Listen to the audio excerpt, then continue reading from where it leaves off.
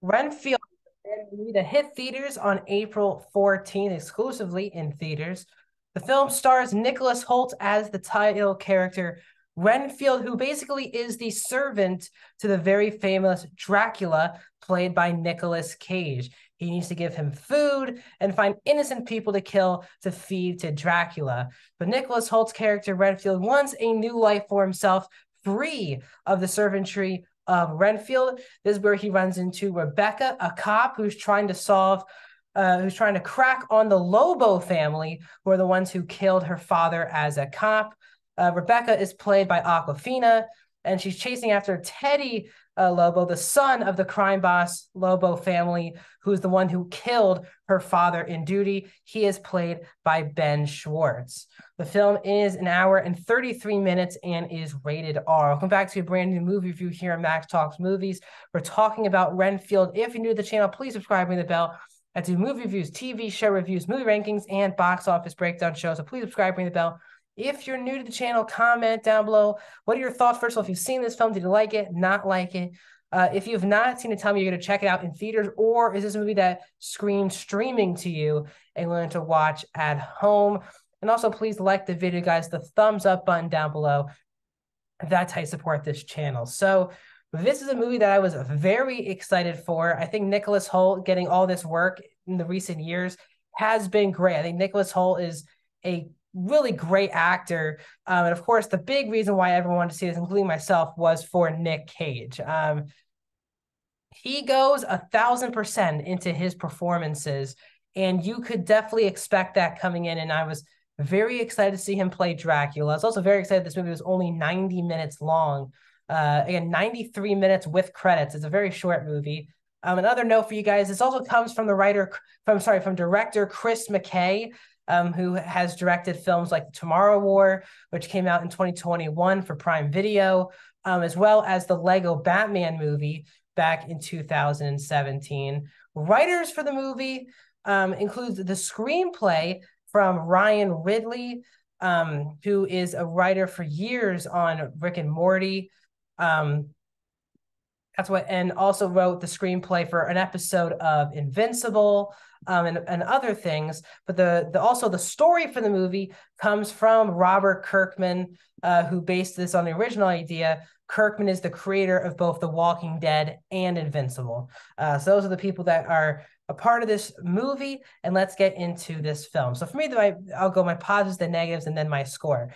I think by far and away for me, the biggest positive that this movie has by far is the cast. This is an absolute likable cast that has great chemistry with each other and oozes a lot of charisma, but also a lot of down to earth people.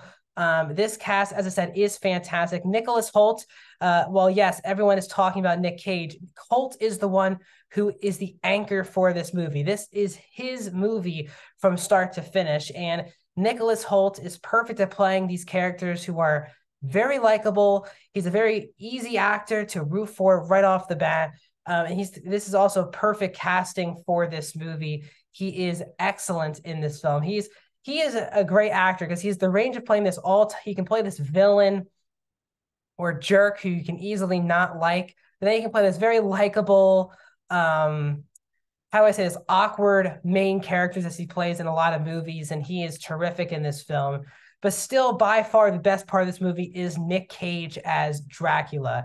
He is thoroughly entertaining. He brings a side of Dracula that he's kind of a beaten down, um, kind of desperate Dracula, where Renfield obviously is not feeding him a lot and he is getting mad.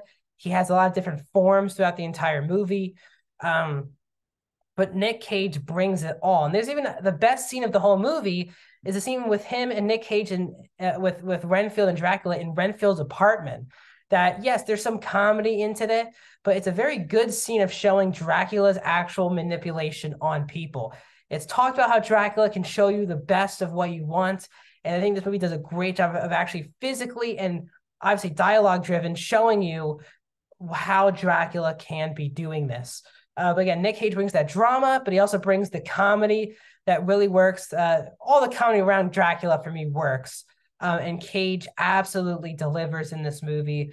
Um, it's always great to see both Awkwafina and Ben Schwartz, um, two of the funniest actors working today, um, especially Ben Schwartz, who I'm just a huge fan of, but also Awkwafina, who I think deserves better roles in movies. Um, she's kind of just always the the joke person in these movies, and her character, she has an arc around her father and her sister and being a cop, and then Ben Schwartz obviously has the storyline of being um, the son of a mafia boss. But overall, those two storylines are just not as interesting. We'll get into that in the negatives, but it's always great to see Awkwafina uh, and Ben Schwartz in a movie um, like this. The other great part about this movie is there are tons of action scenes to be had, and the it's rated R due to it's one of the goriest movies I've seen in a long time. Now, it's gory in a cartoon way. Um, blood just explodes. CGI blood just ex- pops and explodes. Um, and I had tons of fun with the cartoonish aspect of the action scenes and the and the blood that just goes everywhere. I mean, it is extremely gory. Um, and it might not be for you if you like blood just everywhere and gushing all over the place, but for me, I had tons of fun watching the action scenes in this movie. And overall, it's just a fun, easy breeze of a 90 minutes in the movie theater.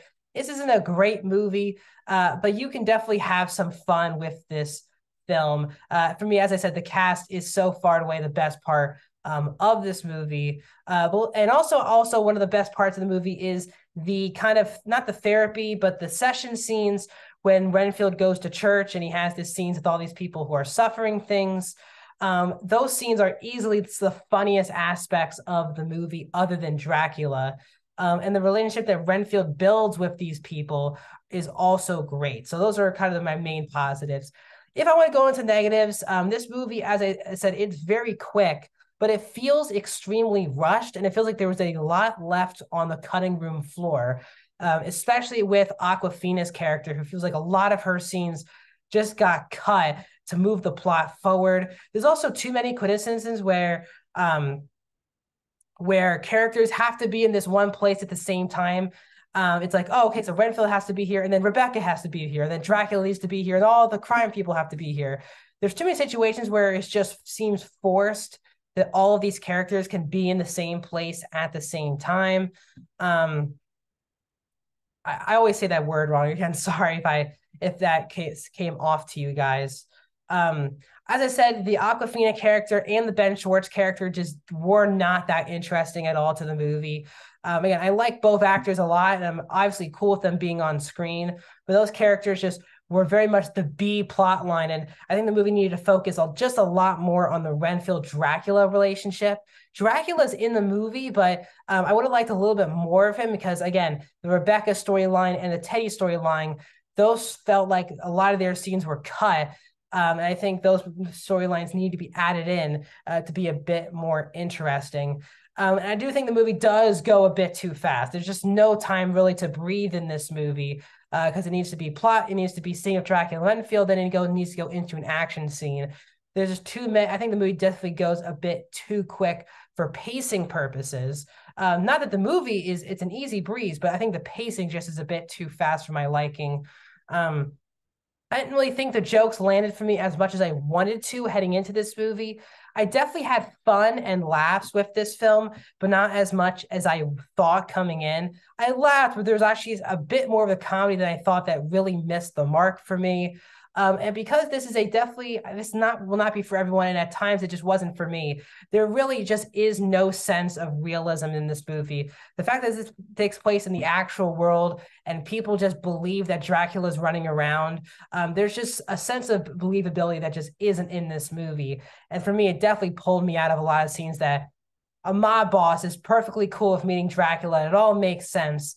I think this movie needed a bit of sense of realism to actually elevate the film as well. So overall, um, this is not a good, not a great movie. Certainly not a bad movie. I had fun with the main cast um, and the action scenes, and I'd love to see Cage and Hoult get back at these characters. But overall, for me, not a great movie, but a fun enough time in the theater. I'm going to give Renfield a three out of five stars. I'm going to go 63% for Renfield. See it in theaters now. Thanks for joining me on this video. I'll see you guys soon.